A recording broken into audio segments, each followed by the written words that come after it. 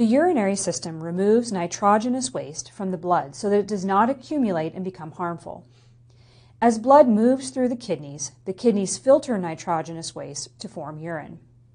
Urine is composed of water, salts, and acids. Urine then leaves the body through the ureters, urinary bladder, and urethra. Each day, the kidneys process about 200 quarts of blood to filter out 2 quarts of urine. The kidneys are also responsible for maintaining the proper balance of water, electrolytes, and acids in the body fluids. Electrolytes, such as sodium and potassium, are small molecules that conduct an electrical charge. These electrolytes are necessary for proper functioning of muscle and nerve cells. The kidneys adjust the amount of water and electrolytes by secreting some substances into the urine and holding back others in the bloodstream for the body to use.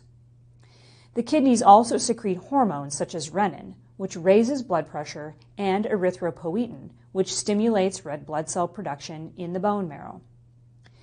The kidneys also secrete calciferol, an active form of vitamin D that is necessary for the absorption of calcium from the intestine.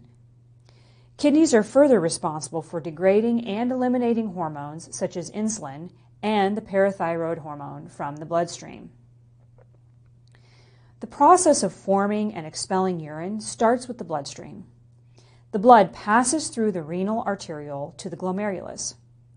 The glomerulus is a tiny ball of capillaries.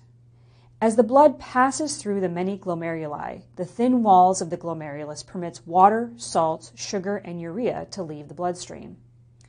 These materials then collect in the glomerular capsule, a tiny cup-like structure that surrounds each glomerulus.